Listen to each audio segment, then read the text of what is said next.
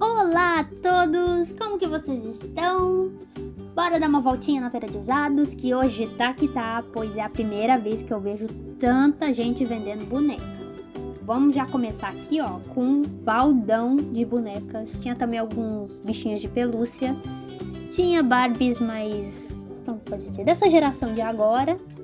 Outras antigas, também tinha de outras marcas, como essa aqui que é a OMG.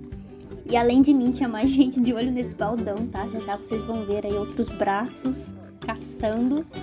Aquela ali é a boneca Steph, uma Barbiezinha aqui. Ah, eu já vou adiantar vocês, nesse baldão aí eu não gostei de nada. Mas eu tô mostrando as opções que tinham. O valor também não tem como falar, porque as bonecas na feira de usados, é desse jeito aí que vocês estão vendo. Eles jogam tudo, nada tem preço. Então, quando você tá interessado em algo, você pega, vai perto do vendedor e pergunta. E como é uma coisa assim, como pode dizer, boca a boca, você pode estar tá negociando o valor. Então, exemplo, se você estivesse pedindo 5 euros nessa boneca, você poderia tentar por. Uh, você faz por 3 euros? tem que ir negociando. Tem hora que os carinhas são legais e tem hora que eles são mais chatinhos, né? Eles, tipo, não muda o preço. Mas na maioria das vezes eles vão aceitar o valor que você falar. Se não falar um valor assim muito absurdo. Por exemplo, a pessoa tá pedindo 10 e você quer que ela venda por 2, aí é meio difícil, né? Continuando a caçada, ó, essa coitada, nossa senhora. Fizeram um corte tenso nela.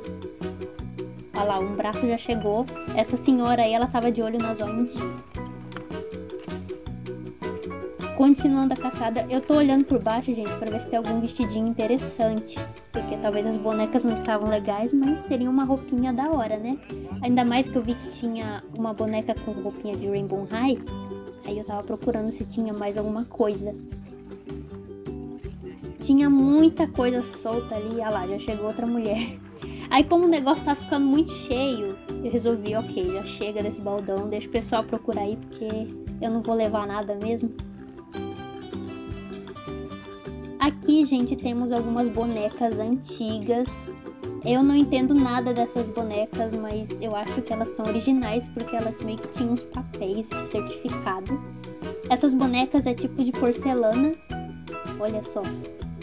Não sei, quem entender aí talvez vai ter alguma ideia. Eu não faço ideia do que elas sejam, mas ó, bonita. Eu não cheguei a perguntar o valor também, porque como tem certificado, eu acho que elas não vão ser lá muito baratinhas. Mas não posso estar tá revelando o preço, né? Porque eu não sei. E aí, gente, vocês comprariam essas bonecas vintage?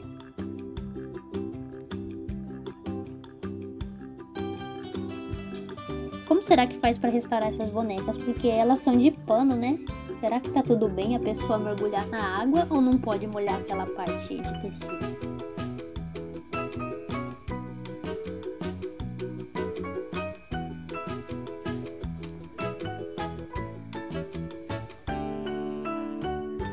Vamos continuar a caçada, bora dar mais uma volta. Aqui tinha mais um amontoado de bonequinhas.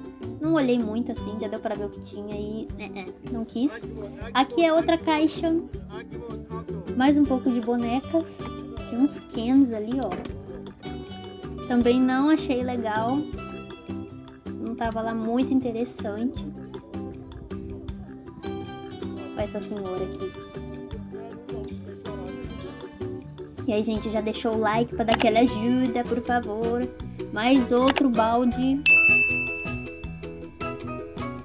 Repara, eu tô de olho nessa cabeça e nessa outra aí que tá na minha mão, que é uma Teresa. Encontrei uma Butterfly perdida, mas ela não tinha nada, nem as asas. Tinha outras bonecas ali, como a Bela, da Disney. Essa aqui não tava nada mal. Mais outras bichinhas, aquelas ali é da, do mundo da Steph, aquela bonequinha, como é o nome dela mesmo? Acho que ela se chama Eve, Eve, algo assim. Ah, esse short eu tô levando, porque como a boneca tá sem roupa, e eu vi que tinha um bocado de roupinha jogada, eu pensei, vamos catar um par de roupa pra ela. Quem acompanha o canal talvez saiba por que, que eu tô levando uma boneca sem cabeça. Quer dizer, uma cabeça sem corpo, né? É o contrário. Olha, eu já vou dar um spoiler. O valor que o cara fez por essa boneca e pelos negocinhos ali que eu tô levando foi tão barato que eu devia ter carregado mais.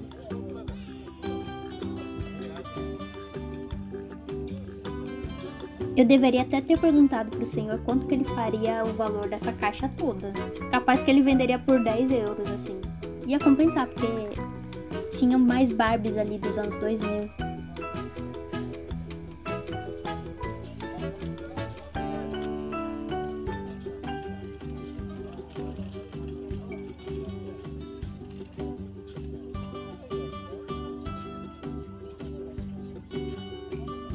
Essa outra loira aqui. De novo, catei ali a Dona Butterfly. Tô de olho nas miudeiras. Agora a gente vai ver os sapatinhos. Tô vendo se tem algum par. Eu achei esse par de sapato preto.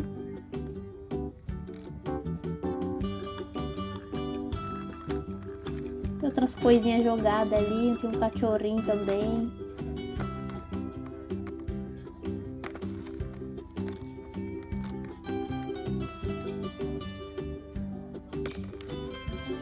Coelhinho. Quase levei, acabei não catando ele, tadinho, devia ter pego. É. Aqui, essa blusa achei bonita. Tem até uma cara assim, bem fashion fever, né? Por isso tô levando ela. Então aqui eu já montei um look pra boneca. Peguei a blusa, o short, o sapato. E agora eu tô vendo se tem mais alguma coisa interessante.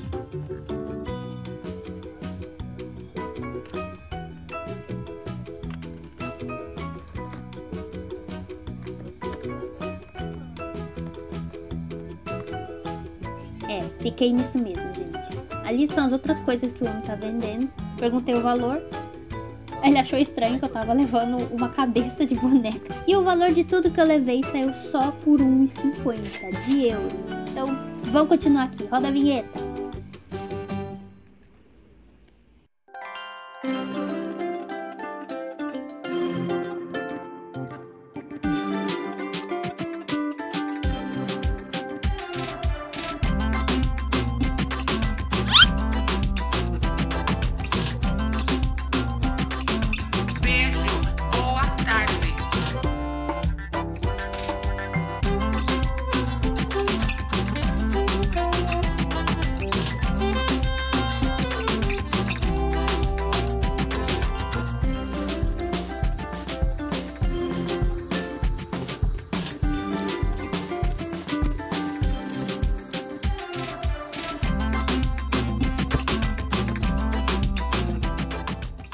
Já tá as duas de banho tomado, cabelo, ó, limpinho, super sedoso.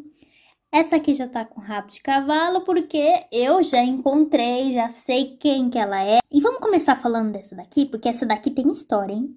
Eu já tive essa boneca. Tá um vídeo aí antigo, vou até deixar o link pra vocês, quem quiser assistir de novo, ou quem não viu, né, poder assistir. Da primeira vez que ela apareceu, eu acho que eu nem encontrei, eu não consegui identificar quem que ela era, mas um pouco foi culpa minha, porque eu estava procurando no ano errado. Pelo rosto dela, eu tava achando que ela ia ser uma boneca lá para os anos 2010, sabe? 2009, por ali. Ela é uma Barbie amazona, é uma Barbie assim com um visual todo, né? Que é pessoal que monta nos cavalos. O corpo dela, apesar de ser articulado, é um corpo assim mais antigo, sabe? Tipo Barbie anos 90. Lembra dessa senhora? Pois é, já até tirei a cabeça aqui, porque eu vou pôr essa daqui nela. O tom de pele parece que vai combinar, ó. Mas vamos ver aqui na íntegra se realmente vai ficar legal. Prontinho, ó, ficou belíssima, amei. A minha Barbizinha agora fica com essa cabecinha aqui. Se eu encontrar uma mais anos 2000 que essa, digo na maquiagem, aí eu troco a cabeça, mas por enquanto vai ficar nesse jeito aí. Agora vamos focar nessa senhora aqui. Essa é uma Fashion Fever de 2008.